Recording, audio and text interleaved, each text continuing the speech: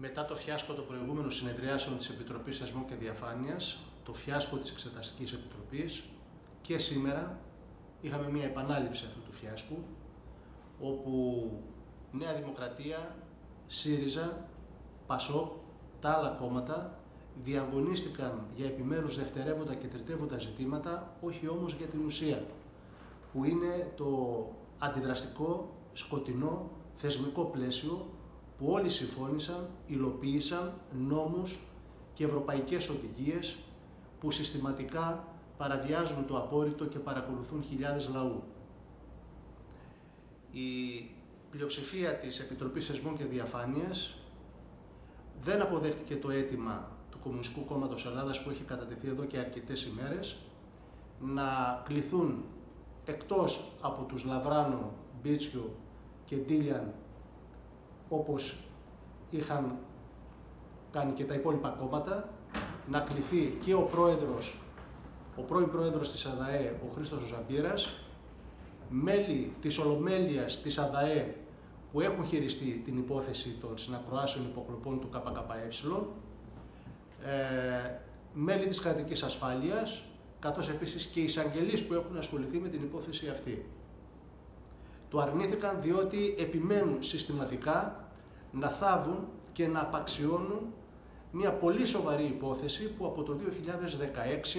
έχει καταγγείλει το ΚΚΕ για συνακουράσεις υποκλοπές στην έδρα της Κεντρικής Επιτροπής του κόμματός μας.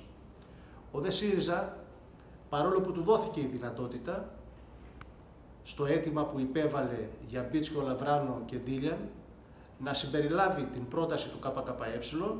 δεν το έκανε, κοινώς έκανε την πάπια. Και αποδεικνύεται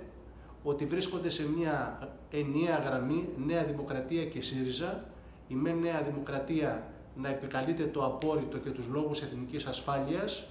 που δεν θέλει να ασχοληθεί με την υπόθεση του Κουκουέ όπως και με τις άλλες υποθέσεις, ο ΔΕ ΣΥΡΙΖΑ να λέει πεισματικά ότι δεν υπάρχουν στοιχεία για την υπόθεση του ΚΚΕ. Αντιλαμβανόμαστε λοιπόν όλοι ότι βρίσκονται σε μια ενιαία γραμμή γιατί ακριβώς θέλουν να υπηρετήσουν αυτό το σκοτεινό θεσμικό πλαίσιο να συνεχιστούν οι παρακολουθήσεις. Ο λαός όμως δεν πρέπει να υποκύψει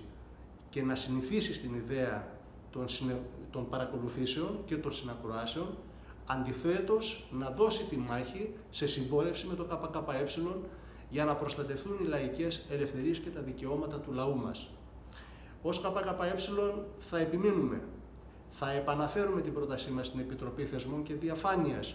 όχι γιατί έχουμε καμία αυταπάτη ότι θα έρθουν όλα στο φως,